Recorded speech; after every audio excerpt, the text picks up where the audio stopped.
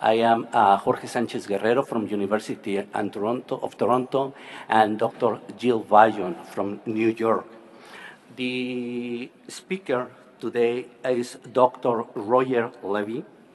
He is professor of rheumatology at the State University of Rio de Janeiro, scientific director of the Rio de Janeiro Rheumatology Society, he is the coordinator of the Vasculopathies Commission of the Brazilian Society of Rheumatology, fellow of the Federico Foundation, and chairman of the upcoming 14 Antiphospholipid Antibodies International and the 4th Latin America Autoimmunity Congress in Rio de Janeiro next September. So, Roger, Thank welcome. you. Thank you for the introduction. So it's a great honor to be here at this amazing Congress, uh, so well organized. I think uh, Bernardo, Mari Carmen, Eloisa, the Gladel group is, did a great job, or still doing. It's a great honor to have Jill Buyon also at the, the chair, the chairing the session. We have learned so much from her work, and uh, I think she deserves also uh, big honor here. So, we're going to talk about this um, problem in our daily practice that is when our patients uh, arrive pregnant. And I think the most important uh, message that I want to, to give you today at the end will be that the key word here is planning. So, we won't have to face so many problems, and we can, we can have an uneventful pregnancy with the baby going home and the mother in good health. Uh, have some disclosures here. Um, so, as I was saying, I think our talk here starts with counseling and talking about the right timing and adapting the medication your patient is using uh, when they are planning or thinking about getting pregnant is crucial. Um, we want also to talk about the, the differences and the common features that can confound us when our patient presents with hypertension, proteinuria, edema. It can be related to lupus nephritis, it can be related to antiphospholipid microangiopathy, or it can be due to preeclampsia. And it's sometimes very difficult to differentiate right there. So it's a tricky situation, and we have to act fast.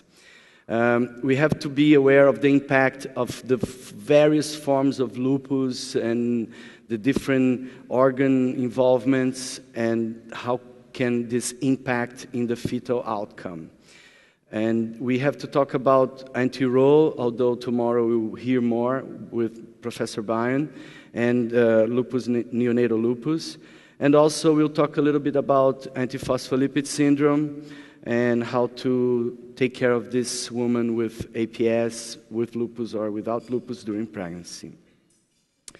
So we know that pregnancy is a special immune situation for the mother because, of course, she has to live with a graft that may sometimes, most of the times, be strange. So there is an immune adaptation that is related to an increase in Th2 cells. And you remember, lupus is a Th2 disease, so it may be something that will increase even more the, the flares and the possibility of a flare.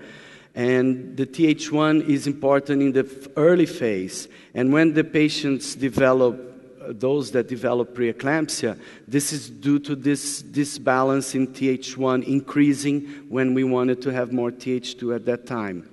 Um, we know that interferon gamma and IL 1B are decreased, and other pro inflammatory cytokines like IL 6, TNF, and IL 1 are increased.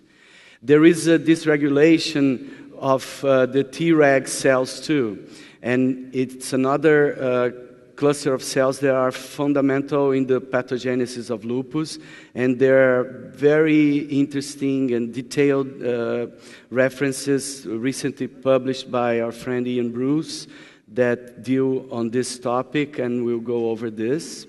Um, there is an increase in the response, not in the number, but the activity of the decidual, the placental natural killer cells, and also an expression of uh, certain types of HLA that do not uh, start an immune recognition.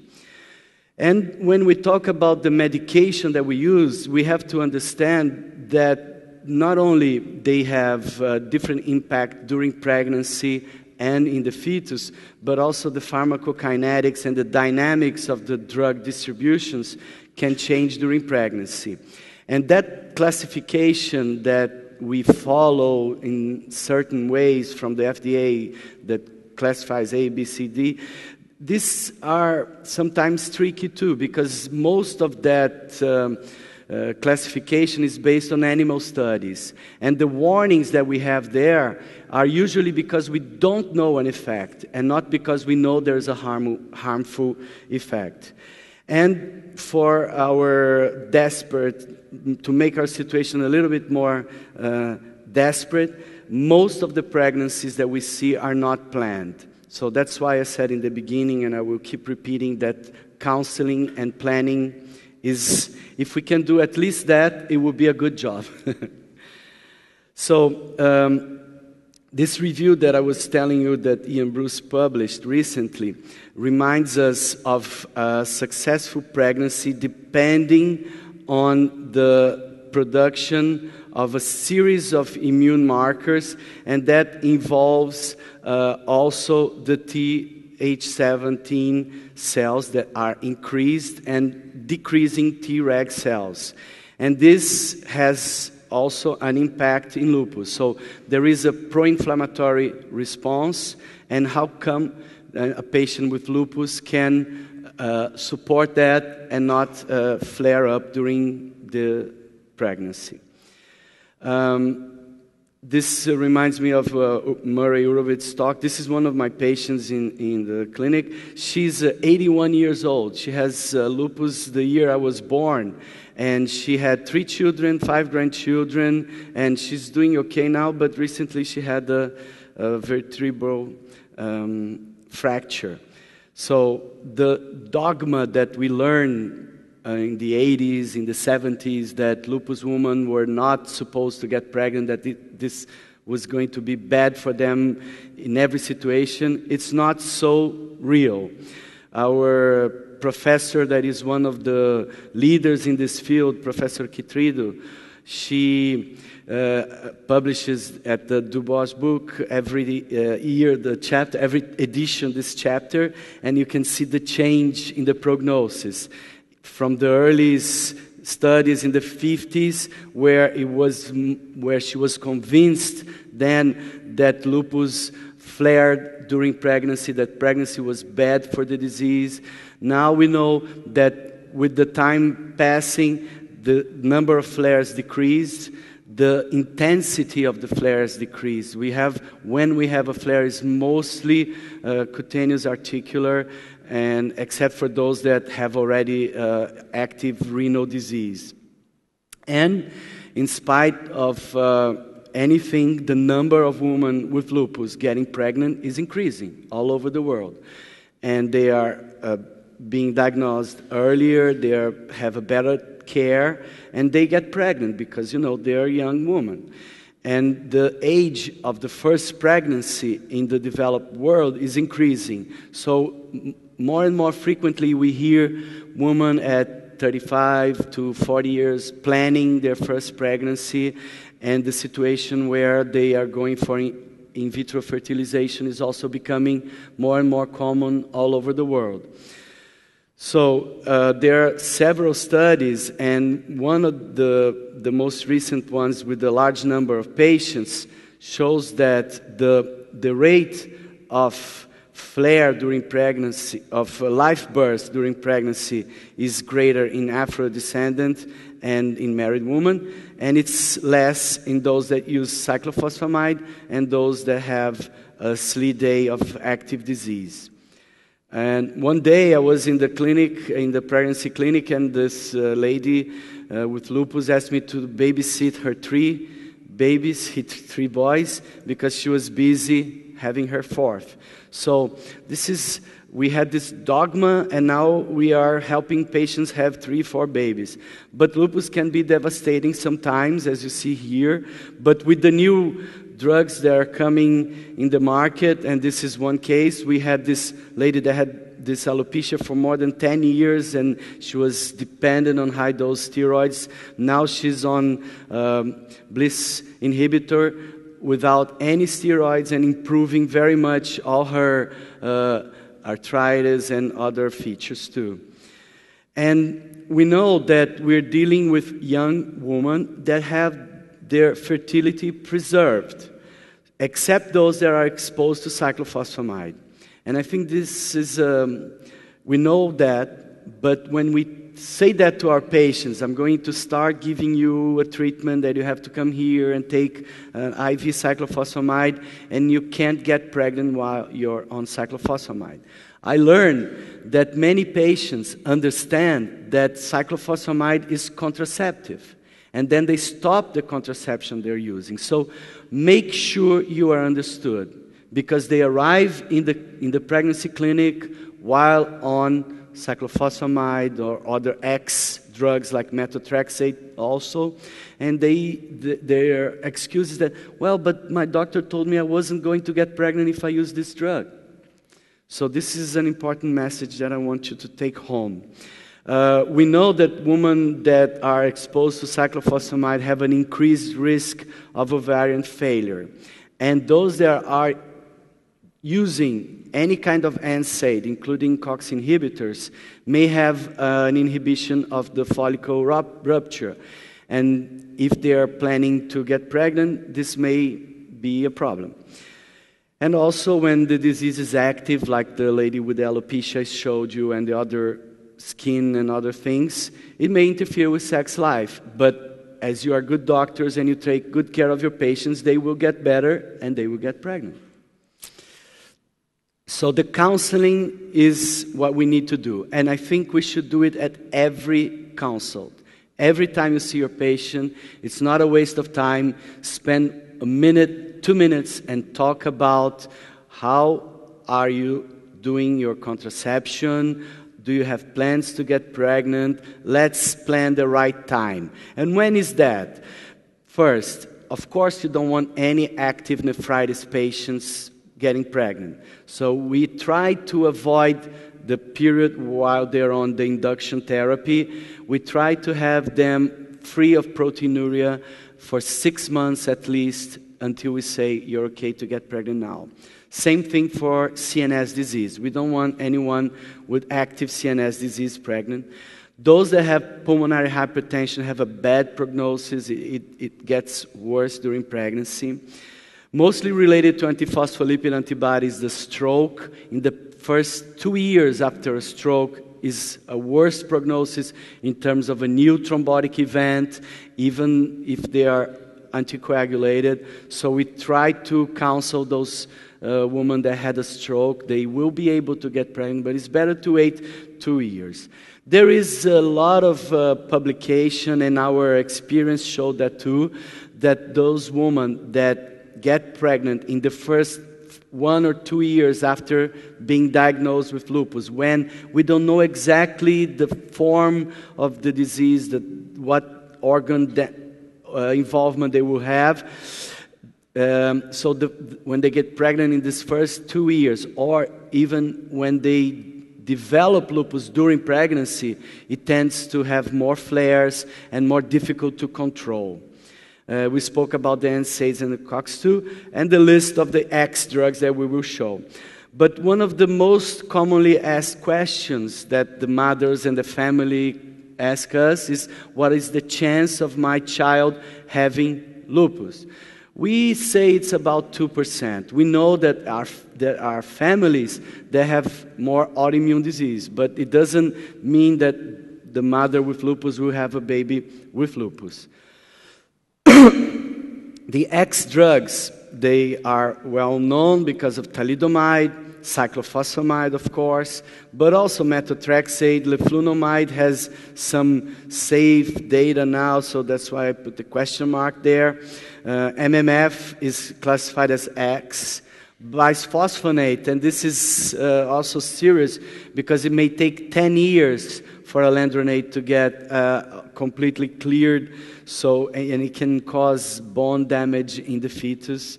Statins, of course, we have to stop statins, as well as misoprostol and the ACE inhibitors and angiotensin 2 inhibitors as well. But as I was saying, we treat them and they feel better and they get pregnant. She had the flare during pregnancy, and now she's actually, I, she was enrolled in one of those studies with BLyS inhibitors. So we learned a lot, and our chairman here was a great contributor for our learning in terms of the advice of, about contraception.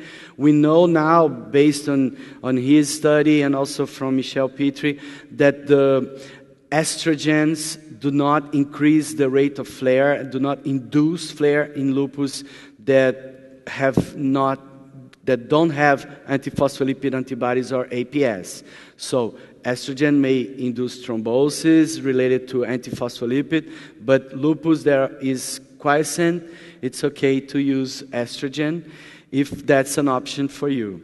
And there are several uh, studies, and the systematic review that I mentioned here showed us that the benefits of a good contraception uh, outweighs the potential risk. But this is an interesting study, and it was done at the University of California in San Francisco, where they interviewed women at a fertile age, and they found that from the 20, 206 patients that were interviewed, 86 had uh, at risk an unplanned pregnancy. And 59% reported in San Francisco that they had no counseling about the risk of pregnancy and the disease and the medication they were on. So, and this was very inconsistent with their contraceptive use. 53, more than half of the patients were using only barrier, which we know it's not so efficient. And our favorite and more efficient type of, of um, contraception that are the intrauterine devices were only used by 13%. And the last comment about this review was about this um, paper was that even women that were being exposed to methotrexate, to MMF, they were equally uh, advised as anyone else that was only on hydroxychloroquine, which is safe for pregnancy, about the risk and the ideal contraception that they should be using. So we should learn from that experience. So the, a better counseling and planning is an unmet need for all of us, and we have to insist on that. The IUD may be the ideal option for long term contraception, especially in those that have antiphospholipid antibodies and, of course, APS. And in addition to asking us the chances of the, their babies of having lupus, women with lupus also ask us very frequently about the, the medication that they're being used during pregnancy and for breastfeeding. So we need to know that. And the interaction between the disease and pregnancy. So again, counseling is the key word here. So pregnancy may induce a flare in lupus, and we know that from many publications from since the 1980s. It's mostly cutaneous articular, and the pathogenic explanation we spoke already. But one of the things that came up in many papers was that they found that in many centers, not today, but in the past, they were withdrawing the antimalarials. And this could be a reason for a triggering of flare in addition to pregnancy itself. So we know now that hydroxychloroquine should not be withdrawn, and it is recommended during pregnancy of lupus patients. So the literature is very um, controversial. The numbers are, the variation is wide, but it depends also on what do we call flare during lupus pregnancy. And then um, we have to think that any woman that was pregnant here had low back pain, knee pain, had facial erythema, could have had dyspnea, and if she had lupus, it would be probably attributed to lupus. But any normal woman has anemia, for example. So we have to know, and this table helps us there, to see what can be of normal pregnancy and confound with lupus. But if your patient has a real full blown arthritis and fever with no um, infection, this can be due to lupus for sure. The carpal tunnel syndrome, it can be diagnosed in up to 30% in the third trimester. And it's uh, temporary. After the baby is delivered and they, their edema goes away, they will get better. So we have to know that.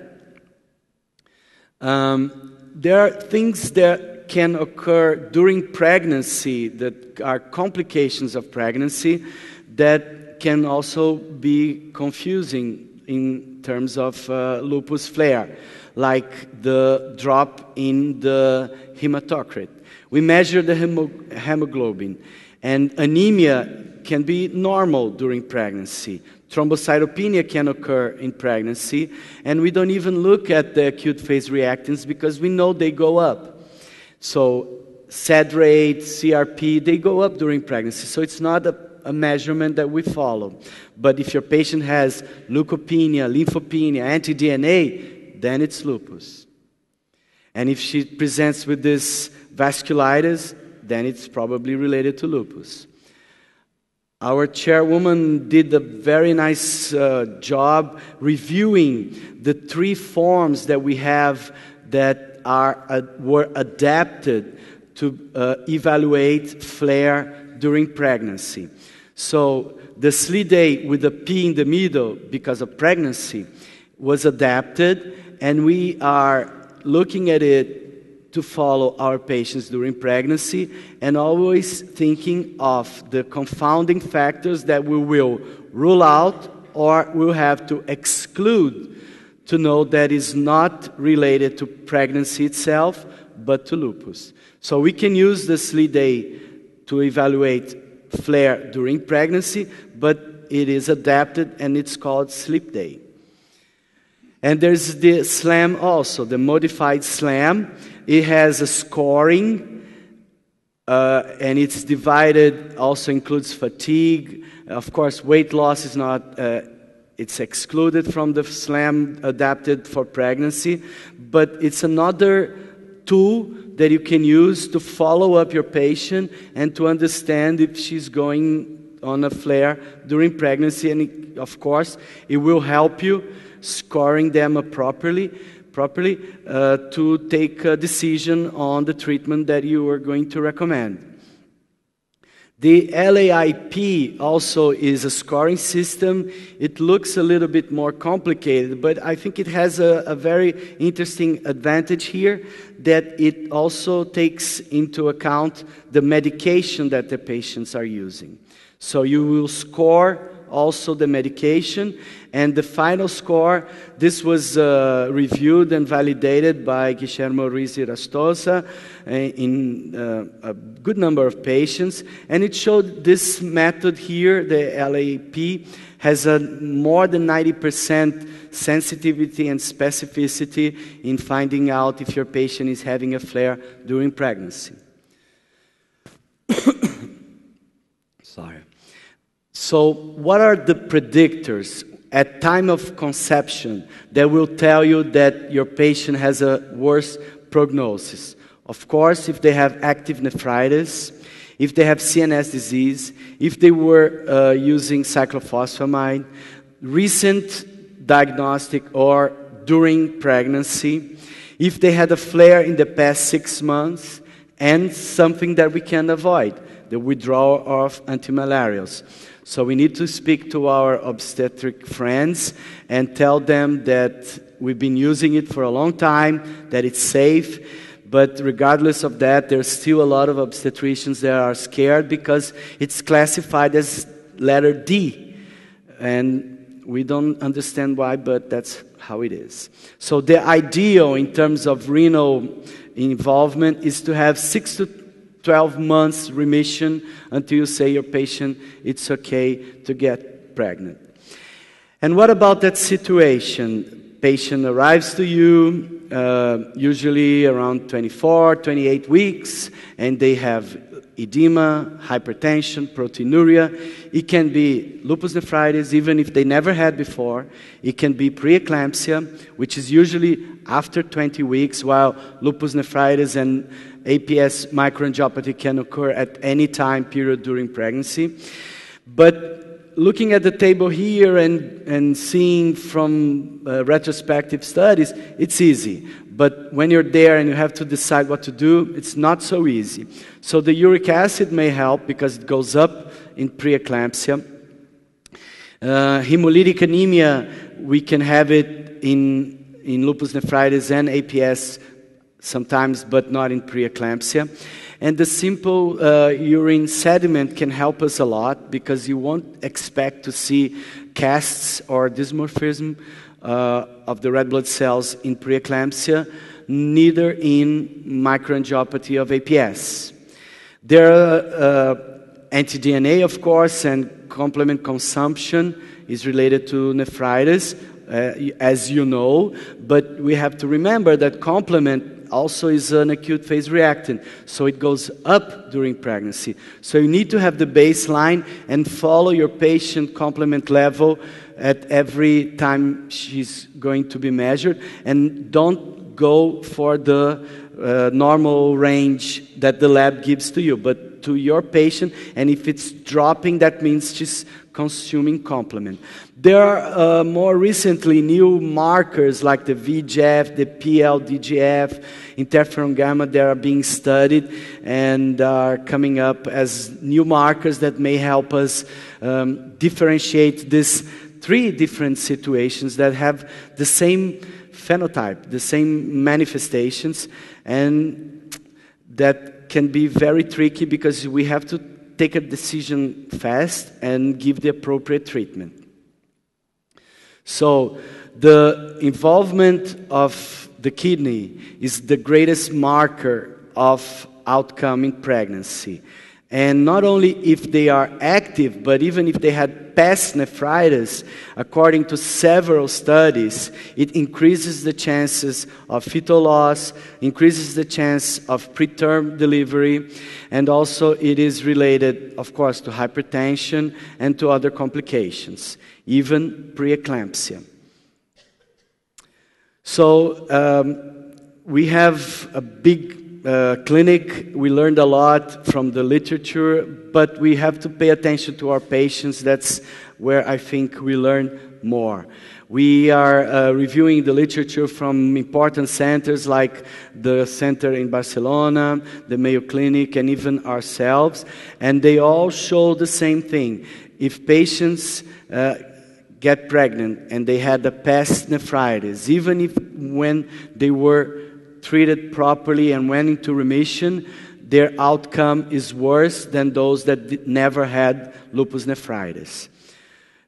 And we have to be aware of that, and that's why we call this a high risk OB follow up, because we're going to follow them closely. We have to be in a good common relationship with the obstetricians and sometimes the nephrologists and other specialists and decide what to do fast and, the, and for the best of our patients. In our center, uh, we have a protocol that we follow in addition to the normal pregnancy protocol. We look in the baseline for all the markers. We recommend to repeat the antiphospholipid test and the anti-Ro, anti-La, even if your patient had it done in the past. We recommend monthly visits until week 18, then from 18 to 27 weeks every three weeks, then 27 to 33 we see the patients uh, twice a month. Then from 33 weeks on, we go for weekly consults. We don't uh, plan C sections, even though many patients in the first consult they say, When is my cesarean going to be? We, we are always trying to have. Um, uh, normal delivery, and if the fetus in is, is in a situation that requires C-section, then we're going to go for cesarean section. But we try to keep the pregnancy as long as we can, and we follow up them with the morphological ultrasound, and we do the Doppler that has a very good predictive value uh, every month from 20 weeks on. So, this is a long uh, re- review of the cases of the Toronto, Dr. Dafna Gladman, showing that from her 193 pregnancies since the 1970s, those that had a past renal involvement were those that had significantly more low birth weight babies and flares during pregnancy. This is the Toronto uh, Data Bank. This is a meta analysis that included several studies, 37 studies, and then a large uh, cohort number of pregnancies. And the maternal complications were again related to nephritis, and the fetal complications related to nephritis, but also to antiphospholipids in, regardless if they had thrombosis or not. It could be only obstetric antiphospholipid syndrome. So these two are the major markers that predict maternal hypertension and prematurity. And the previous nephritis, according to other studies, also including uh, one study from London, one from Mexico City, showing that uh, the hypertension in the first trimester was a huge predictor of bad outcome with preterm and preeclampsia. And here, in the study from Mexico, the fetal outcome was not too much different between the groups with past uh, renal disease or not, but they had more renal flares and maternal complications in the group that had past nephritis. And of course, at that study, also, the active nephritis during conception was the marker of worse prognosis. This uh, major effort is a collaboration that Jill Buyon is also involved. It was um, published uh, end of last year. The first author was my is my mentor, Michael Lockshin. The PROMISE study is led by Jane Salmon. It's still ongoing, but this part of the study showed that the lupus anticoagulant was the stronger predictor of adverse fetal outcome, uh, including in those that have APL only without antiphospholipid syndrome with lupus, or those that have only APL or APS without lupus. So the PROMISE study uh, so far involved um, 610 patients, but they're still being followed up, and there is more data coming up. But for now, we are certain that this marker, the lupus anticoagulant, is the greatest marker of bad prognosis of the fetus.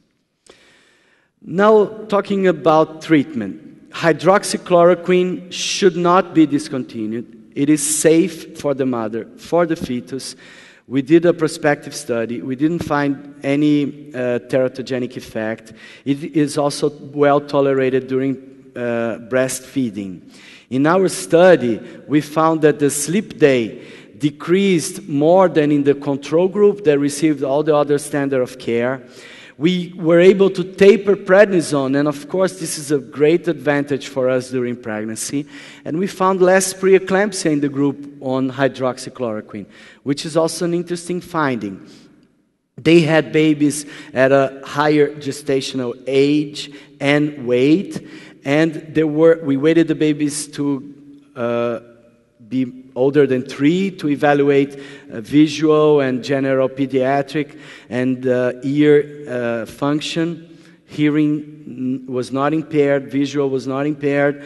And so there are other studies also looking at it retrospectively that did not find any ocular events related to toxicity of hydroxychloroquine during pregnancy. Prednisone and prednisolone are inactivated in the placenta by the 11 beta dehydrogenase. So you can use to treat the mother, but of course you have to use the dose that is efficient and try to taper it as fast as you can because you will spare the common side effects that everybody knows. So the story about the cleft palate is uh, very low. It's like 0.1% from a large data bank. And we have always to supplement calcium and vitamin D during pregnancy with prednisone or not. Betamethasone or dexamethasone is used in certain cases where you have uh, first, second degree uh, heart block. I think uh, Jill will talk about this more uh, thoroughly tomorrow. And we use hydrocortisone to supplement the adrenal function for the stress of the delivery. Azathioprine is an- another. Um, confounding with the FDA classification because it, it has uh, a, a letter D, but this is based on studies in animals. In the human fetal um, liver, the fetus is not capable of uh, transforming azathioprine to mercaptopurine, so it doesn't harm the fetus. Of course, there are cases that were related to transient leukopenia and infections uh, of the neonatal.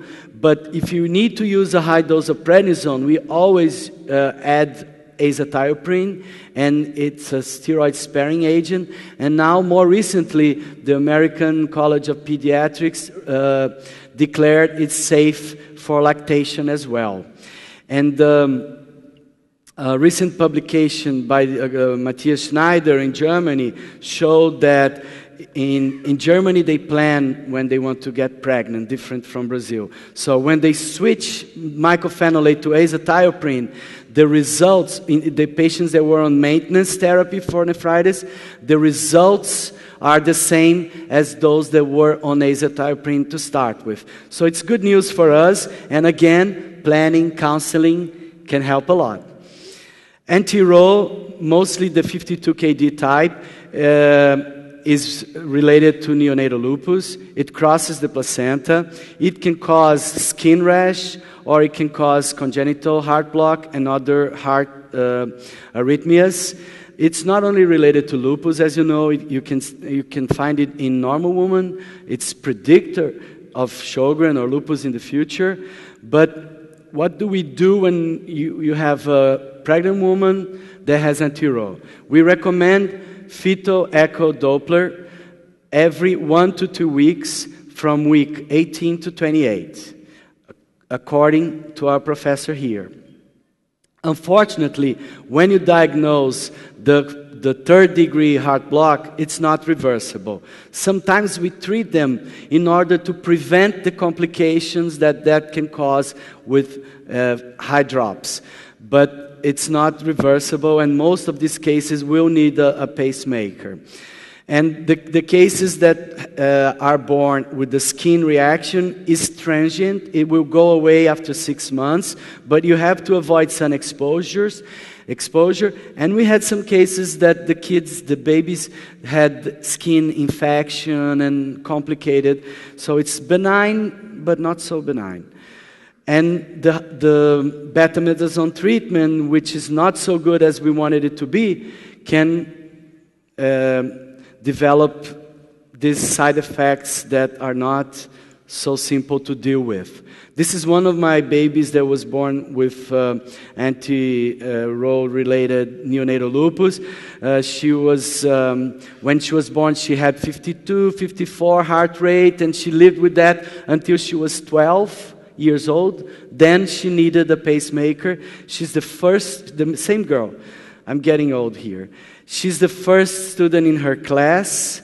So we're very proud of her. We have another um, bunch of patients, but about the same as the literature. Half of them need a pacemaker. It's a very cost, high cost uh, um, condition. And if we could prevent it, it would be very nice. But recently was shown that IVIG was not, also, was not able to prevent because if you had a baby with uh, neonatal lupus heart block, you have a 20% chance of having a second one, and Jill showed it didn't work to prevent. So, in terms of morbidity of the fetus, the early predictors in the first trimester are proteinuria, antiphospholipid syndrome, thrombocytopenia, and hypertension. This is from the Hopkins cohort. And this is what we see also. And the thing that we can make better the treatment adherence. So we have to talk to our patients. We have to tell them that hydroxychloroquine is safe. We, I always show other babies that the mothers took hydroxychloroquine during pregnancy, and this is a, a thing that reassures the patients. So, concordance, more than compliance, is what we want. The anticardiolipin antibodies, especially IgG anticardiolipin, is related to fetal loss the higher the titer, and if the woman, ha- if this woman had a past history of fetal loss and she's not treated with a high titer IgG anticardiolipin, she has more than 80% chance of having a- another fetal loss. And we're talking mostly about late second trimester losses. So recurrent fetal loss, but also preterm, preeclampsia, and according to the criteria, three recurrent, now early, less than 10 weeks consecutive abortions are the features that are related to APS during pregnancy, or better, to APL during pregnancy. But we know that intrauterine growth restriction, fetal distress, premature rupture of membranes are also related. They are major complications of pregnancy that can be related to APL. Infertility and IVF failure is a very tricky area here. Uh, in my opinion, it is not clear. I'm not convinced that infertility is related to antiphospholipid antibodies, although many people in the infertility clinics are testing for all the tests that we know and other tests that we don't even have, do in the routine, and they're offering treatment for these patients. So it's a, it's a situation here that's very complicated. And in addition to the, the conditions that can happen to the, the baby itself, there are other complications during pregnancy because we know pregnancy is a prothrombotic situation by itself. So you can have not only any site of thrombosis, but also thrombocytopenia and catastrophic APS, which can be uh, manifested as a HELLP syndrome.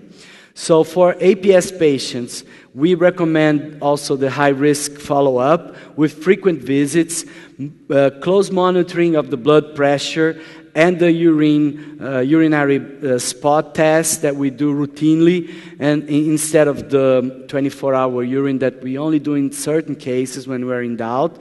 And if you suspect of thrombosis, you have to do a Doppler.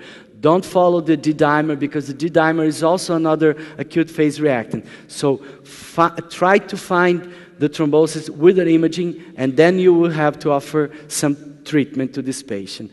But one of the things that we learned from Mari Carmen Amigo, and Munther Khamashta always repeats that too, is that we have to have a good relationship with the OBs. Uh, the obstetricians, because this makes our life easier easier and certainly makes the prognostic of our uh, pregnancies much better. So I go to the OB clinic once a week with our residents, and since 1994, and we have a huge um, clinic and good results. This is Professor Gharavi, which I will like to dedicate this presentation to. He was. Uh, he passed away in 2004 and was my mentor when I trained in New York, and I learned so much from him, not only this, but in real life too. So we follow this um, table according to the past history and the test that your patient has. So if your patient has never had an event, thrombotic event, and has a positive test, you can do just general care and try to avoid and eliminate the other risk factors. But you can use low dose aspirin with no risk, and maybe you have good results. For early miscarriages, we use low dose aspirin. If it fails, we move it we move in the next uh, pregnancy to prophylactic doses of low molecular weight heparin plus low dose aspirin. For those that had fetal losses on low dose aspirin, we combine um, the full dose of low molecular weight heparin twice a day. And if they fail to this scheme combining aspirin and, and low molecular weight heparin full dose, then we do this again with IVIG monthly, one milligram, one uh, gram per kilo every month until week 32.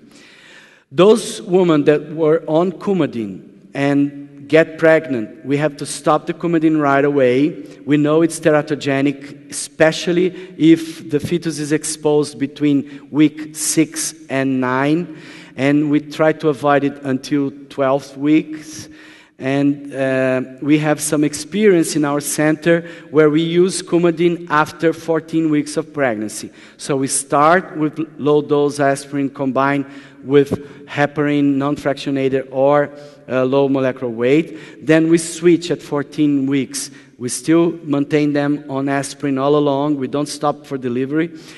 And then until 40, 35 weeks, we use Coumadin, we monitor, we keep their INR around 2.3, and then uh, we switch back at 35 weeks to heparin.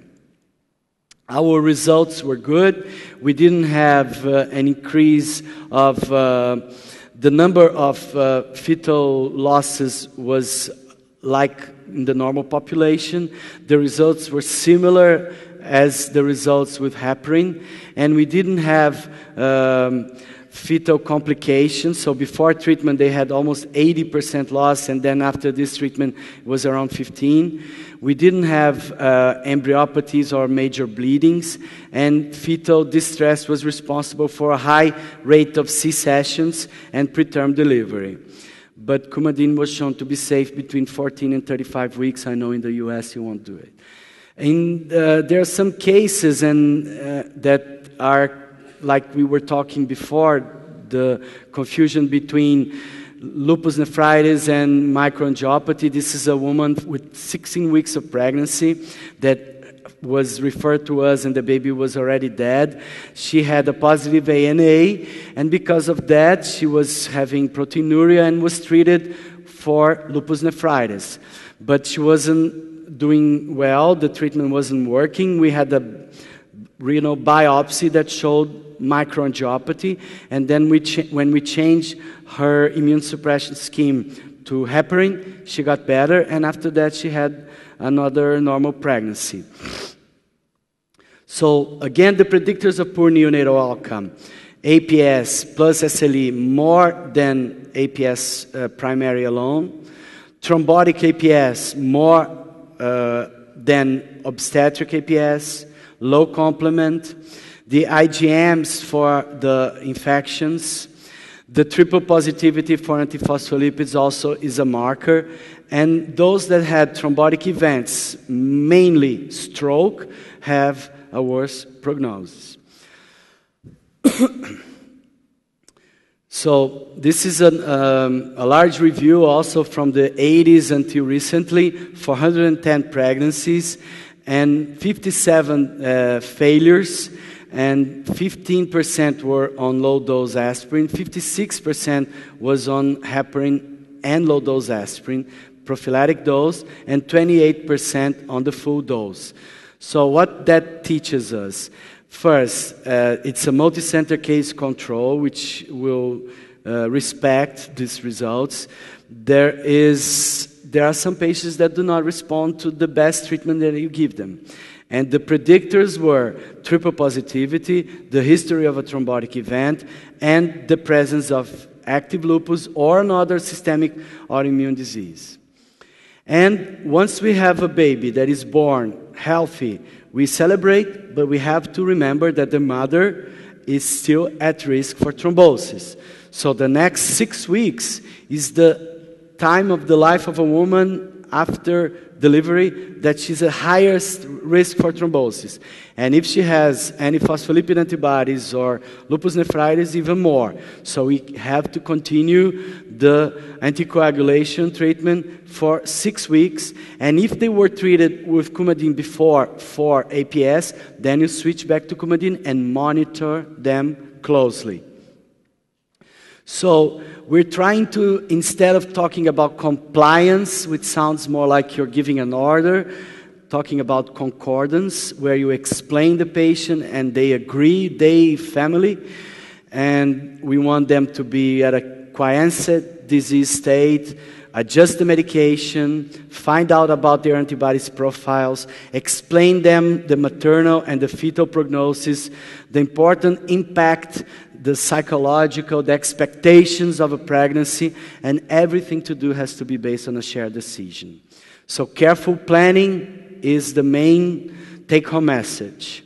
Medication must be adjusted, high risk integrated clinic, find out if your patient has anti-Ro, and assess the antiphospholipids and the risk.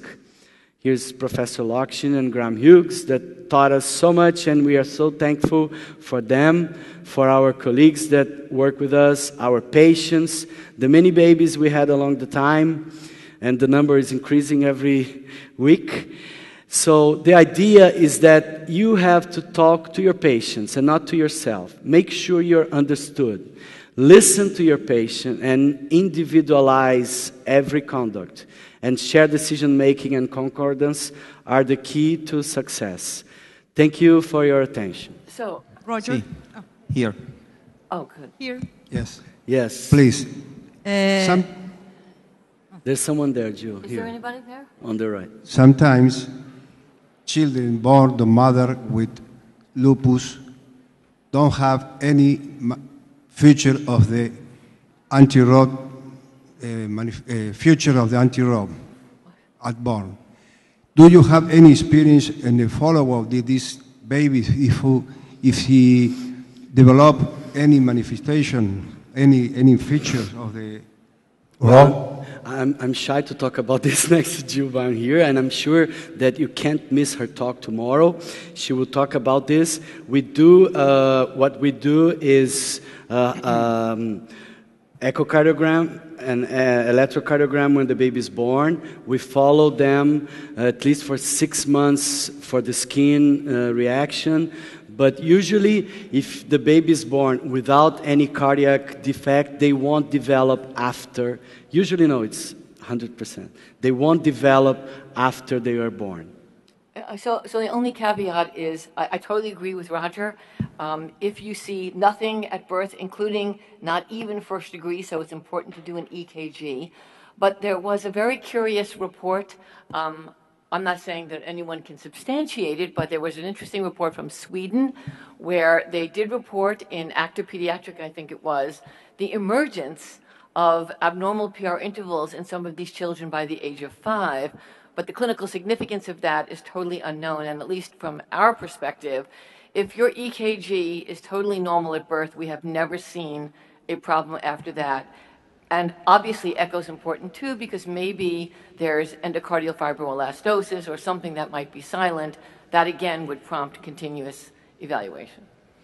We, we, we looked at the PR intervals in the brothers of babies, but we didn't find any. We didn't either. we didn't either. I, I- I didn't know if your question also related to the development of a rheumatic disease. I wasn't sure if, is that part of your question? Oh, we don't know. There is someone there. Yeah. Yes. I can't. Uh, Roger here. If you could turn on the lights, I think it's okay. I don't mind. okay. What? Yeah, much Yes. nice. Uh, Roger, uh, thank you for your talk. What is your um, comment on vaccination in, in pregnancy? The, in my country, there's a national policy and for uh, vaccination influenza, and all pregnant people get vaccines. Sure, we follow that protocol. We vaccine, the, we give the vaccines for tetanus, for influenza, for pregnant women. Yes. Have you seen any difference in lupus activity or APS? not so far. Okay. I hope I won't. Here. Patricia, right? Uh, Roger, here, Alejandro. Uh, as always, an excellent talk. Thank you. Uh, a question. If you have a woman of 40 years old without lupus activity, she wants to be pregnant, but she can't, uh, she wants to be fertilized. What do you recommend, fertilization or adaptation? Well, no, this is this is the situation that's very common. uh, I mean, all over the world, and the the thing that will change your they will do whatever they want to do regardless of what you recommend. What we have to know if they have antiphospholipid antibodies and they will be exposed exposed to a high dose of estrogen for induction of ovulation, then you have to give them uh, at least prophylactic dose of low molecular weight heparin. If they had thrombotic events, I would do it with a full dose of low molecular weight heparin in the induction of uh, ovulation. Okay? So um, I have a question about HELLP syndrome. Uh, so you deliver the baby if the mother has HELLP syndrome, but oftentimes it persists after the delivery. What do you do then? Mothers with HELLP syndrome, Oh, Yeah. HELLP syndrome. I think- Help. Help. then what? What, so you deliver the baby, Early. but oftentimes the HELLP syndrome persists after the delivery. Yeah. What do you do then? Well, sometimes you have to treat the preeclampsia and the nephritis and the microangiopathy. Some, well, if you can have a biopsy, it will help a lot of the kidney because you decide more precisely. But we had cases that we did everything, that we treated with immune suppression, heparin, and had to deliver the baby. And sometimes it takes long. It's not like in the book that you say you take the baby out and preeclampsia is gone. It's true. I just had this past week a baby that was born 800 grams, and so far he's still alive, but bad prognosis.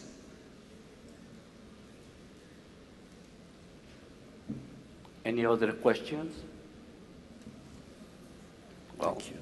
Thank you very much, Roger, and thank you very much for your attention.